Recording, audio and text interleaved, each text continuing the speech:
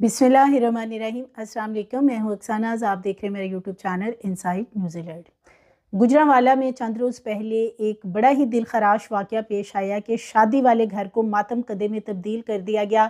شادی کی تقریب رات گئے تک چلتی رہی، ہلا گلا ہوتا رہا اور اس کے بعد دو بجے کے قریب سب سو گئے۔ لیکن صبح علل صبح کے قریب وہاں پہ کچھ افراد ہیں جو گھر کے اندر پھلانگ کر دیوار داخل ہوتے ہیں، دروازہ کھول دیتے ہیں اور جو باہر ان کے دس سے پندرہ ساتھی تھے وہ اندر گھر کے داخل ہو جاتے ہیں اور پھر چار نوجوان لڑکوں کو موت کی بھیڑ چڑھا دیا جاتا ہے اور یہ قتل کرنے والے کوئی غیر نہیں ہیں، اپنے بہت ہی قریبی ہیں اور یہ کیا سارا معاملہ ہے اور بالخصوص اس میں جو پولیس کا کردار ہے، متعلقہ جو تھانہ ہے، اس کا ایس ایچ او گزشتہ چار سال سے کیوں نہیں اس خاندان کی دادرسی کر رہا تھا؟ ایک گھر کا جو ان کا تنازع چل رہا تھا، جس کا کہ عدالت سے سٹے بھی لیا جا چکا تھا۔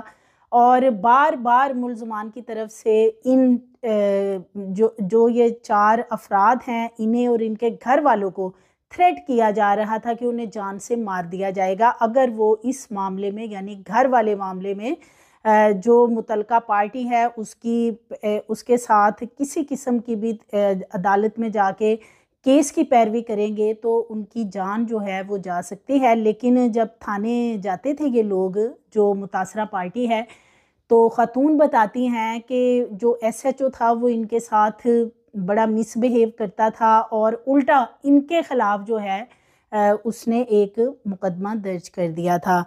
یہ کیا سارا معاملہ ہے؟ کیوں پولیس نے اس طرح کا وہاں پہ ماحول پیدا کیا کہ جو دوسری پارٹی ہے یعنی ملزم پارٹی، اس کو اتنی شے مل چکی تھی کہ انہوں نے ان چار نوجوانوں کو دھڑلے سے گھر میں داخل ہو کے قتل کر دیا۔ اور اب جو اس گھر کی جو خاتون اس میں مدعی مقدمہ بنی ہے، وہ کیا بتاتی ہیں؟ وہ میں آپ سے شیئر کرتی ہوں۔ کوسر بانو ہیں، یہ ان دو نوجوان بیٹوں کی والدہ ہیں اور ساتھ میں ان کا ایک داماد تھا جو قتل ہوا ہے اور ایک ان کا بھتیجا تھا، جس کی چار ستمبر کو شادی ہونے والی تھی۔ یہ نوجوان لڑکا ان کے گھر میں اس لیے آیا ہوا تھا اور ان کا جو داماد ہے، وہ بھی کیونکہ یہ لوگ رات کو فیملی میں ہی شادی تھی اور شادی کی تقریب سے یہ فری ہو کے تو گھر تقریباً دو بجے کے قریب خاتون بتاتی ہیں کہ ہم واپس آئے ہیں۔ ہم لوگ وہ کہتی ہیں کوسر بانو بتاتی ہیں کہ اوپر جا کے سو گئے اور یہ جو لڑکے تھے چاروں یعنی ان کے دو سگے بیٹے، ایک ان کا داماد اور ایک ان کا بھتیجا، وہ نیچے کمرے میں سو گئے تھے۔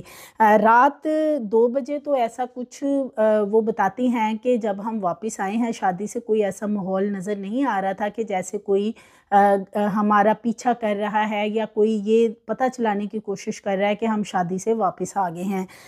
صبح وہ بتاتی ہیں کہ یہ ایک تقریباً صبح پانچ بجے کے قریب ایک شخص ان کے گھر داخل ہوا ہے، دیوار پھلانگ کر، جس نے دروازہ کھولا اور اس کے بعد جو باہر تقریباً دس سے پندرہ مسلح افراد کھڑے تھے، وہ گھر کے اندر داخل ہوتے ہیں۔ کمروں کی طرف بھاگتے ہیں کہ ان کو جیسے پتہ ہوتا ہے کہ کس کمرے میں کون ملے گا یعنی کون کہاں پہ سو رہا ہوگا۔ کیونکہ جو اس خاتون کے دو بیٹے ہیں، ان میں سے ایک ان کا انمیریڈ ہے بیٹا یعنی کہ وہ شادی شدہ نہیں ہے۔ اور دوسرا بیٹا جو ہے، اس کے تین بچے ہیں، وہ شادی شدہ تھا۔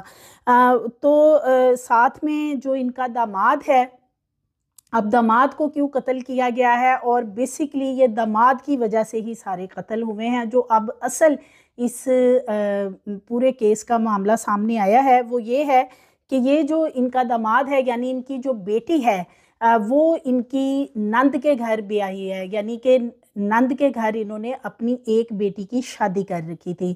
اب ان کا جو بیٹا ہے، ایک عباس، وہ بیسکلی اس میں مرکزی ملزم ہے اور اس نے ان کے گھر میں یہ دھاما بولا ہے۔ اس لیے کہ جو ان کا داماد تھا اس کو اس گھر سے حصہ نہیں ملا تھا، وہ نو بھائی تھے ٹوٹل۔ ان کی نند کے یعنی نو بیٹے ہیں۔ ایک بڑے بیٹے نے عباس جو ہے، اس نے وہ سارا گھر اپنے نام کروا لیا تھا اور اس کے بعد باقی اپنے آٹھ بھائیوں کو اس میں سے حصہ نہیں دیا تھا۔ اس کے بعد وہ باقی جو آٹھ لوگ بچے تھے، انہوں نے ایک سٹے عدالت سے جا کے لے لیا تھا کہ وہ اس گھر کو فروخت وغیرہ نہیں کر سکے گا۔ عباس ملزم جو ہے، اس کو اس چیز کا رنج تھا کہ وہ یہ جو خاتون ہیں، ان کے جو بیٹے ہیں، ظاہر ہے ان کی بیٹی کی ادھر شادی ہوئی تھی، تو یہ اپنے دماد کو سپورٹ کرتے تھے۔ تو یہ اپنے جیسے ان کا دماد سٹے وغیرہ لیا یا عدالت میں کوئی تاریخ ہوتی تھی، تو اپنے بیٹوں کو اس کے ساتھ بھیج دیتی تھی۔ اور ویسے بھی رشتہ داری بھی تھی۔ تو سو وہ ان کو بار بار جو ہے وہ دھمکیاں دیتا رہا عباس کے یہ جو ان کے بیٹے ہیں وہ اس معاملے میں نہ آئے کہ ان کا آپس کا بھائیوں کا معاملہ ہے۔ سو ان کا جو دماد ہے وہ چاہتا تھا کہ ان کو بھی حصہ ملے کہ اکیلے ایک بڑا جو ان کا بھائی ہے اس نے ساری جائیداد اپنے نام لگوا لیا اور انہیں اس میں سے کچھ نہیں دیا۔ اب اسی بات کا ان کا آپس میں جھگڑا چل رہا تھا سٹے وغیرہ بھی ہو چکا تھا۔ ان کی بیٹی جو ہے، ان ان کی بیٹی کی بھی کئی دفعہ ان کے ساتھ جھگڑے وغیرہ معمول تھے یعنی روٹین میں۔ ظاہر ہے وہ ادھر اس کی شادی ہوئی تھی اور وہ اکثر ناراض ناراض ہو کے اپنے شوہر کے ساتھ اپنی ماں کے گھر یعنی کوسر بانوں کے گھر آ جاتی تھی۔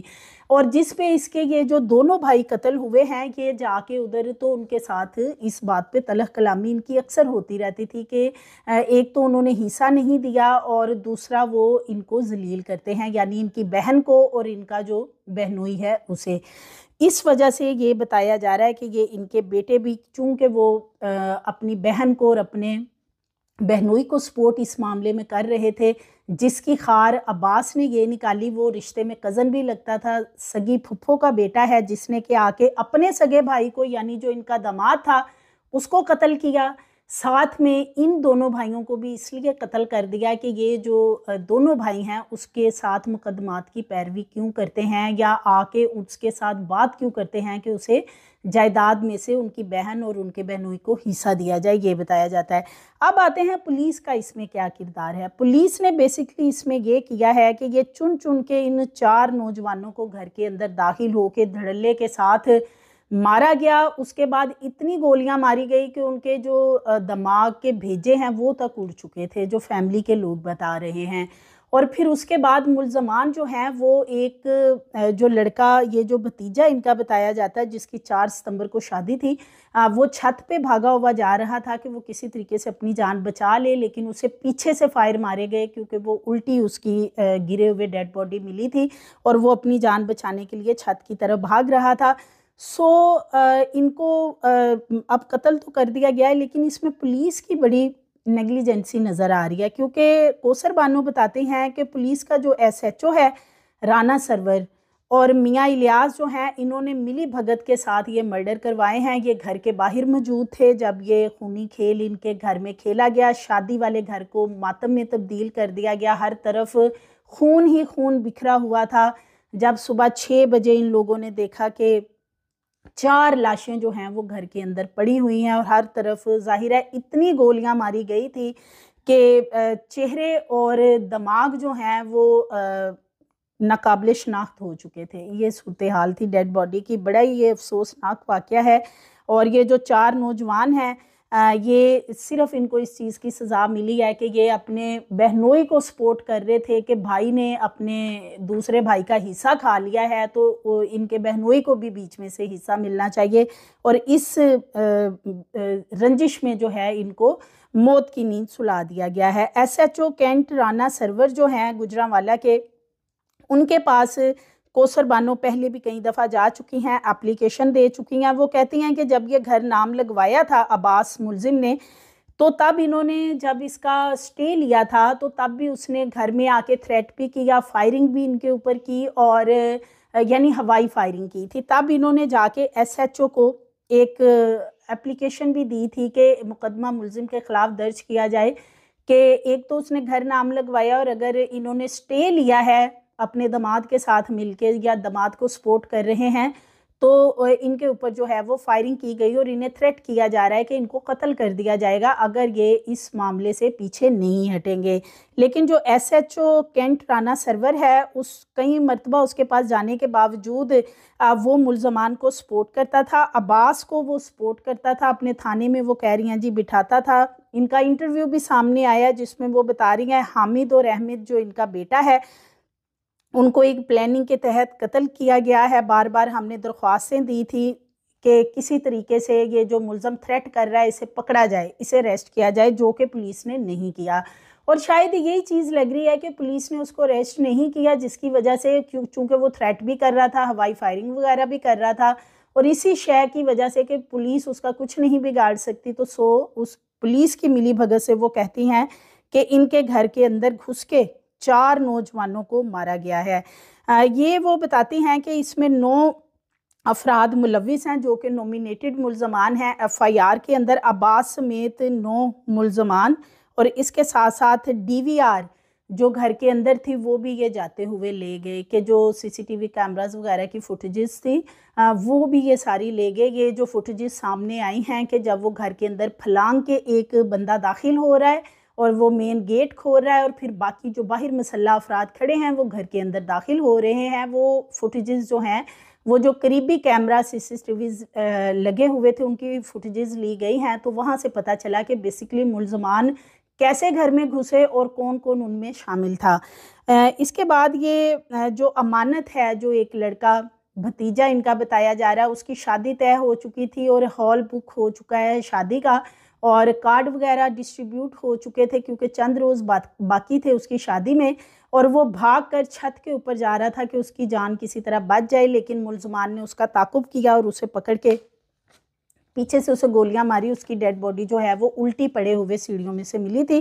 سو یہ انتہائی افسوسناک واقعہ بھی ہے اور ایک ایسے موقع پہ یہ ساری خونی واردات کی گئی ہے کہ جب ایک گھر میں شادی پہلے بھی چل رہی تھی اور دوسرا ان کی شادی ایک چار تاریخ کو بھی ہونے والی تھی اور ایک ایسے موقع پہ یہ سارا کچھ کیا گیا ہے کہ جب شادی والا ظاہرہ گھر ہوتا ہے، خوشیاں ہوتی ہیں ہر طرف اور ہلا گلا تھا، سارے رشتہ دار کٹھے ہوئے تھے، لیکن ایسے موقع کے اوپر یہ سارا معاملہ کیا گیا کہ گھر کے اندر بڑا ہی افسوسناک واقعہ ہے کہ یہ اس طرح کے واقعے جو ہیں یہ ہمیں اس چیز کا ایک تو لیسن دیتے ہیں کہ ویسے ہماری پولیس کہاں ہے؟ پولیس کی نگلیجنسی آئے روز سامنے آتی رہتی کہ اگر یہ جو عباس ملزم ہے، اس کے جو ساتھی ہیں آٹھ دس، ابھی تک ان میں سے چند لوگوں کو ریسٹ کیا گیا ہے اور بار بار مقتول پارٹی کی طرف سے نشاندہی کی جا رہی تھی پچھلے کافی عرصے سے کہ یہ لوگ ہمیں تھریٹ کر رہے ہیں، ہمیں مرڈر کی دھمکیاں دے رہے ہیں۔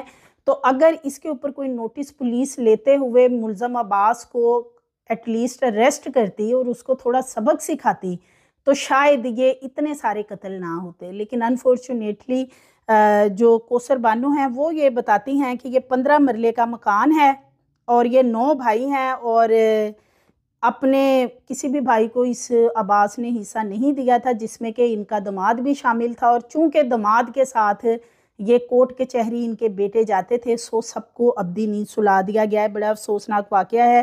اس کے اوپر ابھی تک مریم نواز، جو چیف منسٹر پنجاب ہے ان کی طرف سے تو کوئی نوٹس نہیں لیا گیا، کوئی ایسی چیز سامنے نہیں آئی۔ نہ ہی انہوں نے جائے وقوع کا دورہ کیا یعنی کہ ان مقتول پارٹی کے نہ وہ گھر گئی ہیں۔ اتنے سارے قتل ہونے کے باوجود، تو اس طریقے سے یہ کس طریقے سے یہ سارے معاملات سیٹ ہوں گے کہ جس کا دل چاہتا ہے وہ گن اٹھاتا ہے اور جس کو مرضی مرڈر کر دیتا اور انفارچونیٹلی کچھ عرصے بعد کیس چلتے ہیں اور ضمانتیں بھی ہو جاتی ہیں۔ اور بعض تو ایسا، ایسے کیسز بھی ہیں کہ جن میں جو شہادت دینے کے لیے کچھ گواہان موجود ہوتے ہیں، ان کو بھی اس سے پہلے ہی ابدی نیند سلا دیا جاتا ہے۔ سو اس پہ مریم نواز کو نوٹس لینا چاہیے۔ آئی جی پنجاب جو ہیں، ان سب کو ان کے گھر جانا چاہیے۔ اور جو ملزمان ہیں، انہیں اریسٹ کر کے اسی طرح کی ابدی نیند سلانا چاہیے۔ جس طریقے سے انہوں نے گھر کے اندر گھس کے اتنے لوگوں کو بے دردی سے قتل کر دیا کہ ان کا صرف یہ قصور تھا کہ ان کی بیٹی کی شادی ان کے گھر ہوئی تھی اور وہ اپنے دماد کو سپورٹ کر رہے تھے۔ سو مزید ویڈیوز کے لیے چینل کو سبسکرائب کریں، لائک کریں، بیل آئیکن کو پریس کریں تاکہ آنے والی ویڈیوز آپ کو ملتی رہیں۔